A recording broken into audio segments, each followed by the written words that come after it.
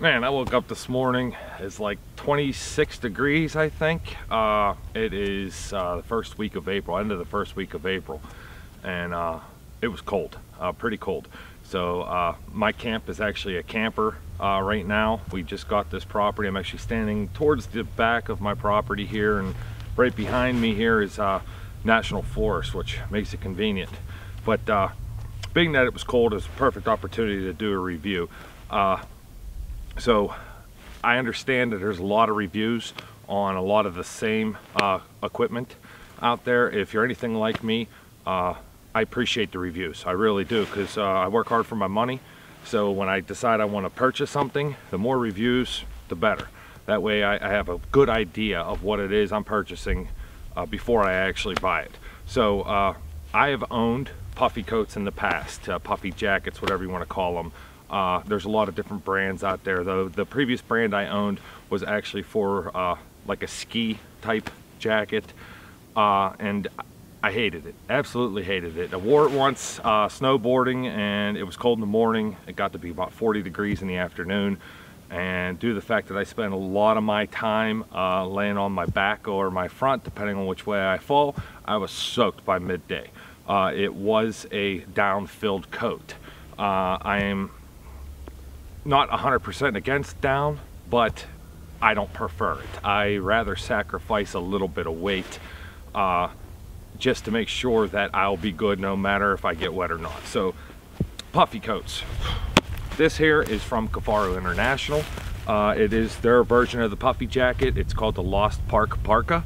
Uh, I did a lot of research and you know was looking around. I wanted something extremely durable, something extremely warm, uh, comfortable, but that would pack down fairly small.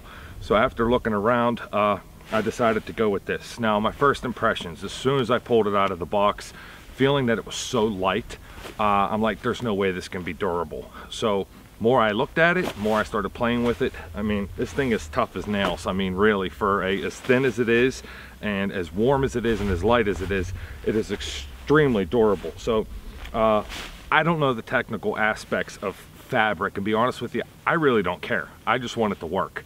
So anyway so there's a lighter material along the sleeves here but they have a real heavy material along the elbows and that. Uh, that's also across the front here. Uh, one of the things I loved about this is it does have the full kangaroo pouch type pocket.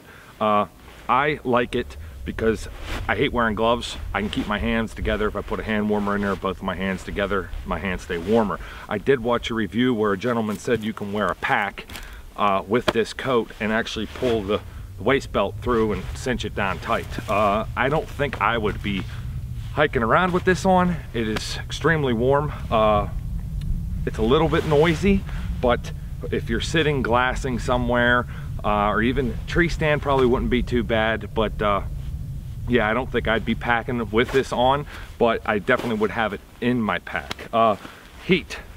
You typically lose heat through the sleeves. You lose heat through the neck. Uh, you lose heat around the waistband. Waistband has a draw cord. You can pull it nice and tight. Elastic band around the, the wrist here uh, keeps heat from escaping. I love the fact that it's only a half zip. Most of the heat comes out of the zipper in the front. Half zip, less space. You get too warm, it opens up real nice. Uh, has the little flap in the inside here to help the heat from escaping. Nice high collar on it, which is also great. Like if you're if you do have a bino harness on or something, it's not rubbing up against your neck. Real big hood. I like the big hood. I'm not a huge fan of hoods, but when I need it, it's nice to have it. I want it to be able to cover my head, cover my ears, keep the wind off the back of my neck. Uh, great product. Now this size, it comes from a small to a 2X, I believe is what available. This is a 2X and it comes in, I think, at 28 ounces.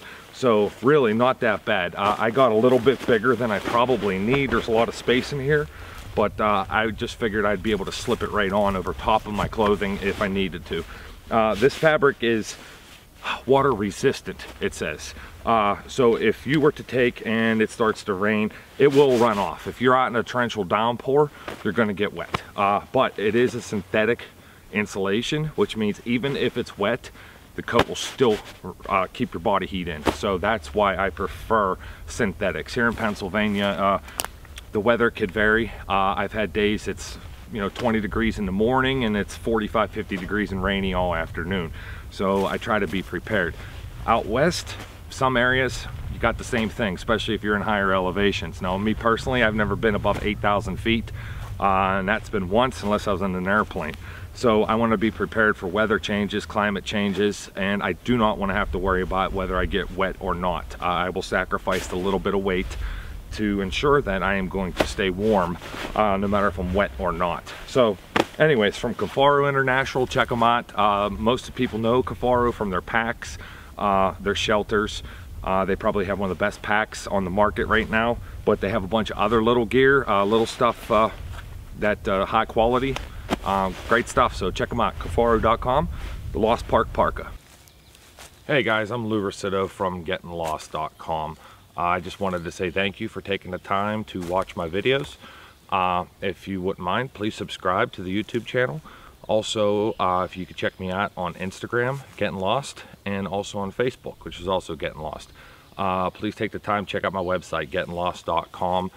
Uh, if you have any questions, uh, any kind of feedback, any recommendations, uh, please contact me at lou at getnlost.com or you can go to the contact page on my website and uh, comes directly to me and I'd be more than glad to hear the feedback. Once again, I appreciate it.